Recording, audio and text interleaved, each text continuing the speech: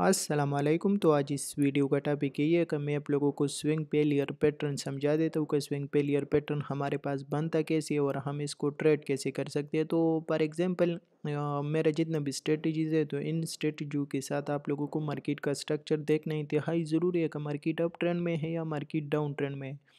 तो इसके साथ साथ ये देखना इंतहाई ज़रूरी है और इसके साथ साथ जो स्विंग पेलियर पैटर्न है तो इसका जो एक्यूरेसी है तो इसकी eighty eighty five percent accuracy है डिपेंड ऑन योर प्रैक्टिस सही है तो आपने आप जितना ज़्यादा प्रैक्टिस कर देते हो तो आप लोगों की उतना ही ज़्यादा एक्यूरेसी होगा। बाकी क्या इसी ने इसमें हमेशा एक छोटा सा स्टॉप लॉस लगता है और बड़ा रिवार्ड आपको मिलता है। कभी वन इस टू फाइव कभी वन इस टू सेवन कभी वन इस टू टेन सही है?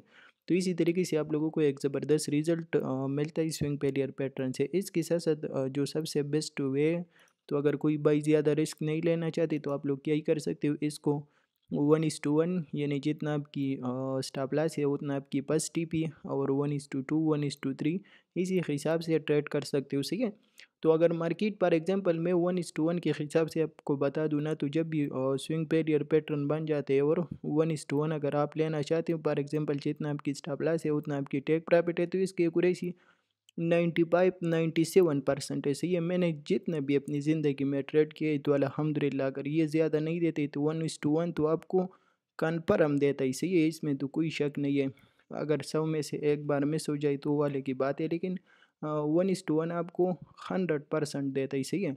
और इसके साथ साथ फिर मार्केट का अंदाज़ा लेकर के one is to two, one is to three और वन इस टू फोर। इसके साथ साथ स्विंग पेलियर पैटर्न जो है तो इसी का क्या इसी ने इसकी सिर्फ़ ऊपर स्टॉप लॉस लगता है, ज़्यादा रिस्क इसमें नहीं लेना चाहिए।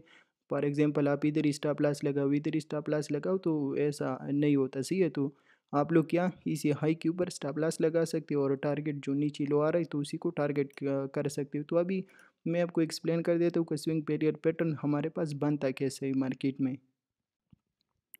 तो ये है कि एग्जांपल ऐसी है, फिर मैं आपको रियल चार्ट में भी एक्सप्लेन कर देता हूँ, बियरिश और बुलिश दोनों। इसके साथ साथ मार्केट का स्ट्रक्चर देखना इंतहाई ज़रूरी है। मार्केट फॉर एग्जांपल हमारे पास अब ट्रेंड में है। आपको नज़र आ रहा है मार्केट मुसलसल ये हायर हाई हायर लो और फिर से हायर हाई तो मार्केट का स्ट्रक्चर क्या है? बुलिश ऐसी और मार्केट अब ट्रेंड में तो इधर ही आपको नज़र आ रही मार्केट क्या कर देते हैं? मार्केट एक हायर हाई बना लेता है। इसके बाद मार्केट हायर लो बना देता है। और मार्केट जब न्यू हाई बनाने के लिए ऊपर जाते तो मार्केट क्या कर देता है? मार्केट सिर्फ़ इसी प्रीवियस हाई की लिक्विडिटी स्वीप कर देता है। और मार्केट वापस नीचे आ जाता है, कैंडल नीचे क्लोज कर देता है। तो ये हमारे पास स्विंग पेरियर पैटर्न बन जाती है और जैसे ये कैंडल रेंज के अंदर क्लोज कर देते हैं, प्रीवियस हाई के नीचे क्लोज कर देते हैं तो इधर इसे हम शार्ट कर देते हैं स्टॉप लॉस इसके ऊपर लगा देते हैं और टारगेट नीचे range, low demand zone support नीचे टारगेट कर देती है। तो इसी तरीके से हम लोग स्विंग पेलियर पैटर्न ट्रेड करते हैं और ये हमारे पास इसी तरीके से बनता है। इसके साथ साथ जो वेलेट आवर है इनवेलेट स्विंग पेलियर पैटर्न है तो आपको मैं रियल चार्ट पे एक्सप्लेन कर देता हूँ कि रियल चार्ट पे ये हमारे पास वेलेट कब होगा और इनवेलेट कब होगा। तो आ जाती है और रियल चार्ट पे मैं आपको एक्सप्लेन कर देता हूँ। दो इधर ही आपको नज़र आ रहा है गोल्ड का चार्ट ऐसी है थर्टी मिनट टाइम फ्रेम है। और इसके साथ साथ मार्केट डाउन ट्रेंड में था, ये lower low lower high again lower low और मार्केट पर से पंप हुआ तो मार्केट जैसे पंप हुआ तो मार्केट ने अपनी प्रीवियस हाई की लिक्विडिटी स्वीप कर दिया और उसी के बाद वापस रेंज में आ गई तो इधर से आपको नज़र आ रहा है एक ज़बरदस्त तरीके से डाउन ट्रेंड लग गया और हमारा आल टारगेट हिट हुआ मार्केट इसी सपोर्ट तक ईजिली आ गया सी है। इसके साथ साथ अगर आप देखें तो मार्केट क्या था? अप ट्रेंड में था ये higher high higher low higher high और अगेन हायर लो बनाने के लिए मार्केट आया लेकिन हायर लो नहीं बना सका। और मार्केट ने क्या ही कर दिया, सिर्फ़ इसकी लिक्विडिटी स्वीप कर दिया और वापस रेंज में आ गई। तो इधर ही से फिर अगेन आपको नज़र आ रहा है कि ज़बरदस्त तरीके से पंप आ गया। तो इसी तरीके से हमारे पास स्विंग पेरियर पैटर्न बनता ही, सही है? अब इसी चीज़ को समझो कि ये हमारे पास वेलेट कब होगा और इनवेलेट कब होगा। तो इधर ही आप लोग फोकस कर देना चाहिए जब मार्केट आ जाते हैं और मार्केट ऊपर की हाई चला जाता है, सही है? और मार्केट अगर अगेन एक कैंडल के अंदर नीचे आ गया। फॉर एग्जांपल ये विग ऊपर मारा और मार्केट ने कैंडल नीचे क्लोज कर दिया तो ये स्विंग पेलियर पैटर्न आपके पास वैलिड है, सही है? मार्केट ऊपर वेग मारे और नीचे आ जाए रेंज की ये प्रवेश हमारे पास रेंज हाई था ना? इसके अंदर कैंडल क्लोज कर दे तो ये हमारे पास स्विंग पेलियर पैटर्न बन जाता है इसी है? तो फिर हम ट्रेड ले सकते हैं। स्टॉप लॉस इसके ऊपर लगेगा, इसी के ऊपर स्टॉप लॉस लगेगा और टारगेट नीचे जो सपोर्ट डिमांड जोन आ रहा है उसी को आप लोग टारगेट कर सकते हो। इसके साथ साथ दूसरा कि इसी ने अगर मार्केट आ जाता है और मार्केट एक कैंडल ऊपर क्लोज कर देता है और दूसरा कैंडल में ये डायरेक्ट रेंज में आ जाता है। फॉर एग्जांपल जिस तरीके से इधर हुआ ना मार्केट ने एक कैंडल नीचे क्लोज कर दिया, लेकिन दूसरा कैंडल में वापस मार्केट रेंज में आ गई तो दूसरा कैंडल में जैसे मार्केट रेंज में आ जाता है, इधर से तो बाय कर सकते हैं। स्टॉप लॉस इसकी नीचे लगेगा और टारगेट ऊपर जो सप्लाई जोन या रेजिस्टेंस आ रहे हैं तो वो आप टारगेट कर सकते हो। इसी तो इसी तरीके से ये हमारे पास वेलेट और इनवेलेट कब होगा?